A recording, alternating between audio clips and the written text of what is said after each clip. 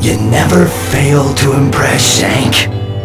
When that bell came down, I thought you had it, but you managed to escape that too.